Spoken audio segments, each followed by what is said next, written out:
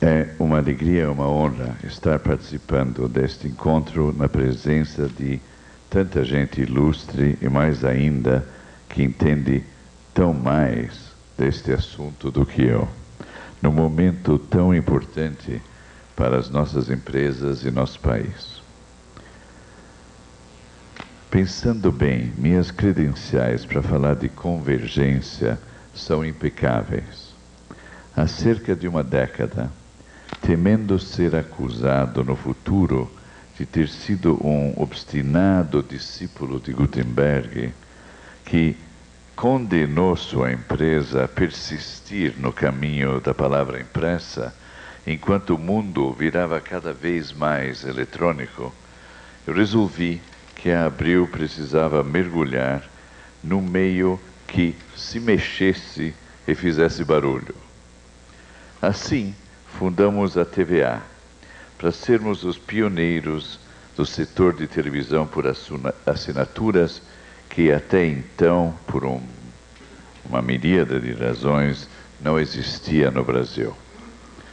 Qual não foi a minha surpresa, poucos anos depois, descobri que não tínhamos entrado no admirável mundo novo da TV, da TV por assinaturas, mas sim no ciclone das telecomunicações e da convergência digital, onde a complexidade e a velocidade das mudanças e o preço das fichas necessárias para entrar no jogo eram extraordinariamente maiores do que no, do que no passado remoto do início da década de 90, quando a telefonia era telefonia, televisão era televisão, Rádio era rádio, jornal era jornal, assinatura era assinatura e a internet sequer existia.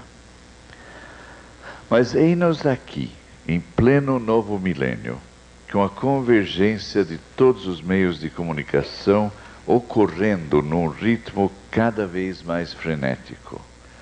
A internet transformando o planeta, a telefonia crescendo a olhos vistos e o outrora tranquilo segmento da televisão por assinaturas sendo sacudido pela disponibilidade de centenas de canais e satélites em órbita geoestacionária a 40 mil quilômetros deste ponto em que nos encontramos. Tudo isso complicado pelo fato de tantos meios como as empresas estarem se agarrando, abraçando, entrelaçando e fundindo a cada dia. Então, o que é que um pobre discípulo do velho Gutenberg pode ousar opinar a respeito perante um auditório de tantas autoridades e doutores no assunto? Talvez algumas rápidas reflexões. Antes de mais nada, que o governo do presidente Fernando Henrique Cardoso está de parabéns pelo caminho trilhado na direção da privatização, de mais concorrência, da busca de transparência, da criação de uma agência reguladora modelo como a Anatel, liderada pelo seu extraordinário primeiro presidente, Renato Navarro Guerreiro, que tem feito o possível e o impossível para manter o campo de jogo nivelado. Em seguida, o reconhecimento de que a internet é certamente a criação mais revolucionária desde a invenção dos tipos móveis em meados do século XV. Pois, muito além de ser uma fonte de renda para as telefônicas, uma alegria até agora para os seus investidores e um interessante novo lugar para começar a anunciar e vender coisas, ele está, nada mais, nada menos, mudando o mundo, eliminando barreiras geográficas e nacionais, unificando o planeta colocando todos em contato com todos, tornando as empresas mais eficientes, abaixando preços e custos e talvez, sobretudo, fortalecendo o indivíduo, o direito da livre manifestação, o fluxo livre da informação e ideias e, consequentemente, a liberdade e a democracia. Do ponto de vista dos meios de comunicação clássicos, quero apenas dizer que, em minha opinião, a internet não deve ser considerada uma nova concorrente, mas sim um extraordinário complemento que permite estender o nosso alcance, oferecer mais serviços, manter nossos leitores mais atualizados e aumentar o intercâmbio entre os veículos e seu público. Como poderia, por exemplo, um jornal sem acesso à internet oferecer aos seus leitores a oportunidade de debater questões com seus redatores? Como poderia ver o leitor os, os apartamentos que quer alugar ou pesquisar edições, edições anteriores. Como poderia uma revista semanal lhe contar o que está acontecendo agora, de manhã? Como poderia fazer pesquisas constantes entre seus leitores?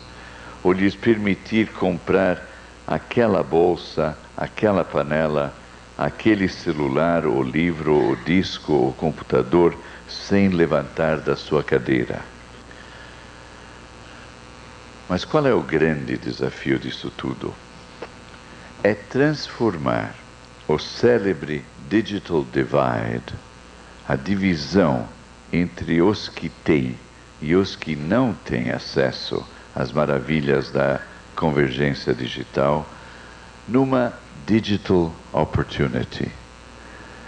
A possibilidade de utilizar este novo acesso a todos os filmes, livros, músicas, enciclopédias, espetáculos, lugares, povos, línguas, conhecimento e ideias do nosso planeta para ajudar a eliminar, ou pelo menos reduzir, os terríveis desníveis que hoje assolam boa parte da humanidade. Como?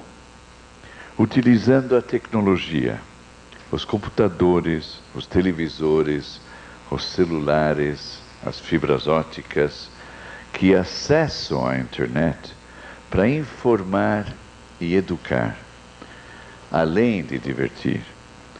Para informar e divertir e educar centenas de milhões de pessoas que hoje vivem completamente afastados de tudo que estamos aqui para discutir.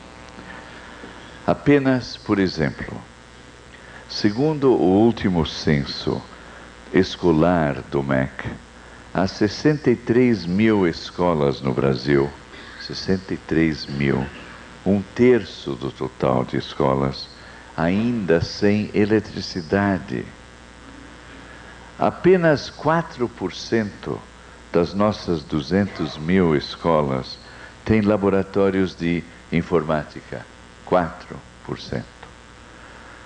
E menos de 3% de todas as escolas do país têm acesso ao internet hoje. E destas, dois terços são escolas particulares. Ou seja, 5, 6 mil escolas, 2 mil públicas. Apesar dos esforços hercúleos feitos nos últimos cinco anos, apesar das 60 mil escolas já equipadas com antenas parabólicas, televisores e videocassetes, apesar dos 30 mil computadores já instalados em 6 mil escolas, a esmagadora maioria das cerca de 50 milhões de crianças matriculadas nas escolas brasileiras, sem falar dos seus pais, ainda não tem qualquer acesso aos sites, portais, mecanismos de busca, e interatividade da, que a internet poderia lhe oferecer. A oportunidade está justamente nisto. Se, se dedicarmos uma parte relativamente pequena dos enormes recursos reunidos aqui, nesta sala, em Cabo Santo Agostinho, hoje, poderemos não apenas melhorar dramaticamente a qualidade da educação que estas crianças recebem, mas, mais importante, e simultaneamente, utilizar o grande atalho que a tecnologia nos oferece para preparar cidadãos e trabalhadores mais conscientes e mais produtivos, para acelerar o desenvolvimento do país, para contribuir para a redução dos terríveis desequilíbrios que envergonham, atrasam e maculam o nosso potencialmente tão maravilhoso Brasil. Muito obrigado.